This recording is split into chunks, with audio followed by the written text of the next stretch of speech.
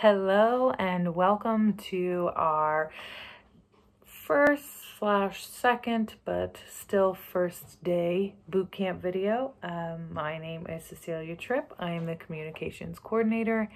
And in this video, I will be walking you how to help people sign up for 30 days virtually. So let's begin.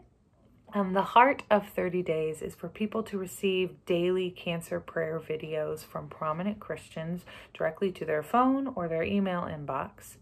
And although we had over 100,000 views on our videos last year, which is amazing, the number one source for people to receive the daily videos was from you in our wonderful churches. To receive the daily videos, however, they need to register rather than typical registration tables, which is what we were helping you um, design and set up last year, we've designed a safe, easy way for people to register in your church or communities. Uh, this year that helps keep everybody safe and distanced from each other.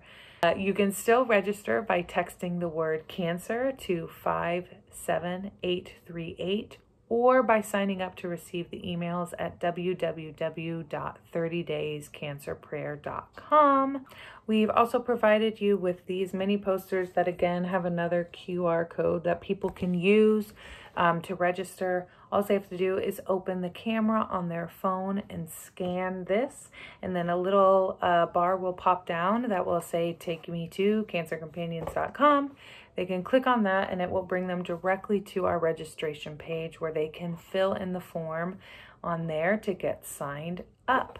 Uh, just a reminder, if you didn't receive these flyers, they all are on our website on the toolbox section. So you can download and print them there. Then you don't have to wait for us to mail them to you. All of them include these lovely instructions on how to best use the poster.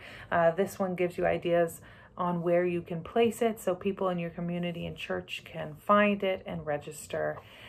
This is beneficial to you because you will be receiving a report of everyone that registers for 30 days along with their contact information so you can reach out to them and let them know more about you, your support group, how they can find you in church after 30 days is over, and all those different good things.